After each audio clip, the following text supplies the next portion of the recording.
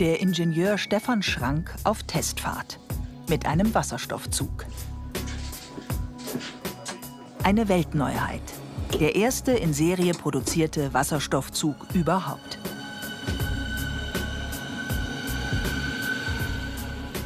Die Fahrt über eine Teststrecke der Firma Alstom bei Salzgitter.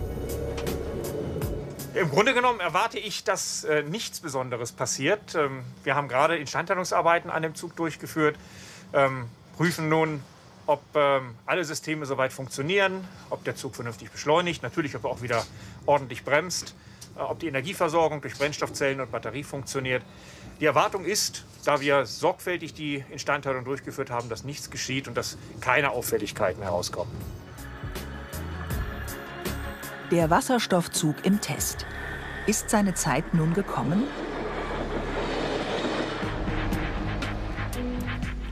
Immer noch sind in Deutschland viele Dieselzüge unterwegs, vor allem auf nicht elektrifizierten Strecken. Ein Beispiel? In Hörlkofen, nur rund 40 Kilometer östlich des Münchner Hauptbahnhofs, fehlen schon die Oberleitungen.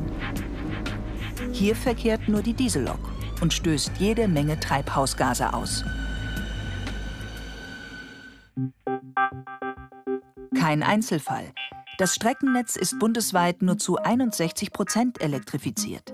Besonders in den ländlichen Gebieten fehlen die Stromleitungen. Die Bahn möchte bis zum Jahr 2050 klimaneutral fahren. Doch die Elektrifizierung ist zu langsam und zu teuer. Zwischen einer und eineinhalb Millionen Euro pro Kilometer. Und manchmal kaum machbar. Zum Beispiel, wenn Oberleitungen durch zu niedrige Tunnel führen müssten.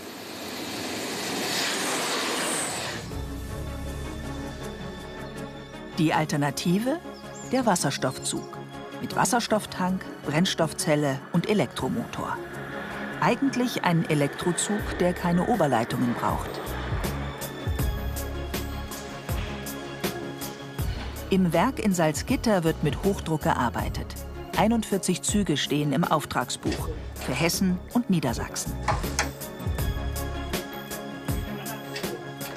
Auf den ersten Blick ist hier nichts anders.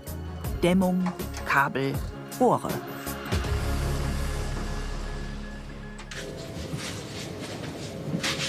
Und so sieht auch für den Fahrgast das Wageninnere nicht anders aus. Er wird beim Einsteigen kaum einen Unterschied bemerken. Das ändert sich dann allerdings. Wenn der Zug losfährt, dann haben wir einen deutlichen Unterschied.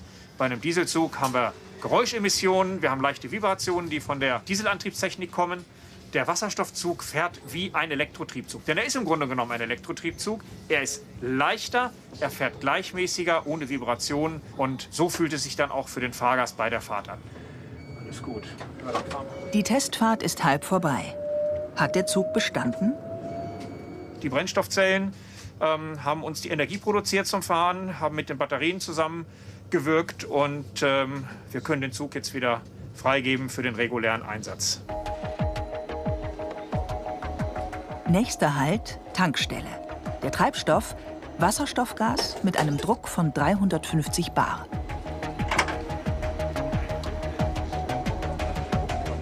In einer guten Viertelstunde sind die Tanks auf dem Dach wieder voll. Mit grünem Wasserstoff reicht das für 1000 Kilometer klimaneutrale Fahrt. Einziges Abgas? Wasserdampf aus den Brennstoffzellen. Eine völlig neue Frage. Wohin mit den Brennstoffzellen? Unter dem Zug würden sie stören. Der Einstieg für die Fahrgäste müsste erhöht werden. Die Lösung? Aufs Dach.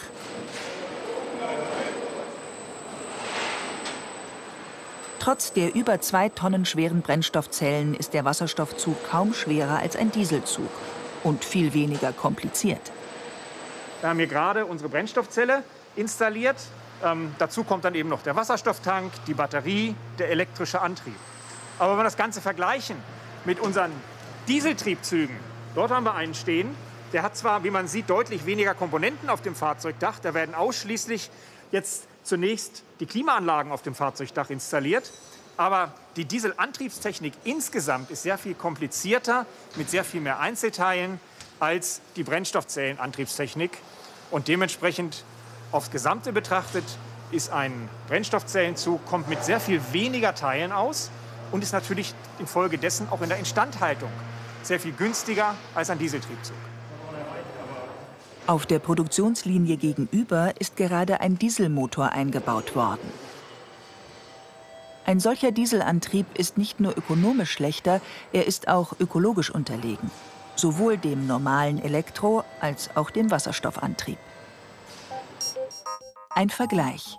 Heute stößt ein Zug mit Dieselantrieb pro Fahrgast im Schnitt über 25 Gramm Kohlendioxid pro Kilometer aus. Der elektrisch betriebene Zug dagegen nur gut 12 Gramm, also etwa die Hälfte. Ein ähnliches Bild im Güterverkehr. Hier liegt der Güterzug mit Dieselantrieb bei etwas mehr als 19 Gramm pro Tonne und Kilometer.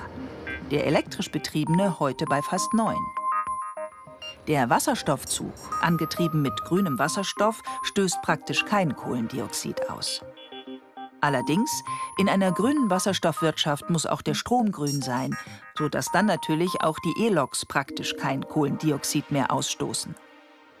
Mit Elektro- und Wasserstoffzügen wäre dann der Zugverkehr tatsächlich klimaneutral und die europäische Wasserstofftechnologie sogar ein Exportschlager.